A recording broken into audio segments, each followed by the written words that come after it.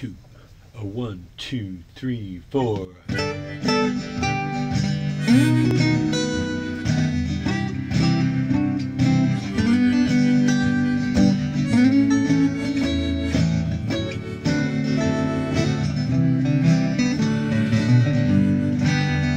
Vaccines, vaccine, two shots with a month in between.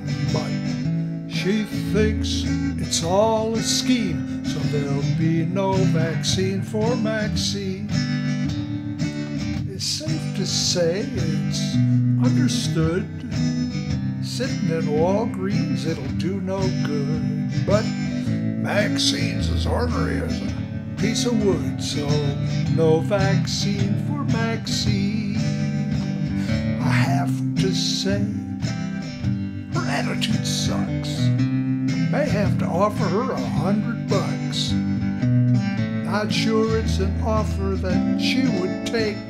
She probably thinks that our money is fake. Smallpox, polio, mumps, and diphtheria no longer affect anyone near you. Tell this to Max. If she'll hear you, well, then there might be a vaccine for Maxine.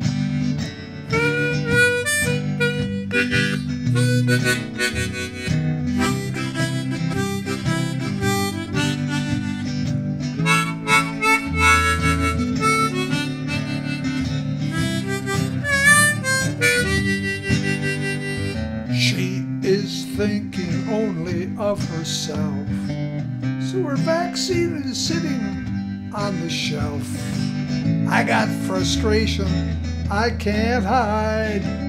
She's stopping us from turning the tide. Maxine's vaccine.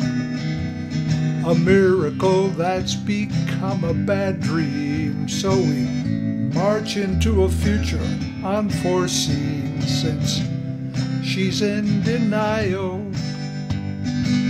Have to throw away that vial. There'll be no vaccine for Maxine.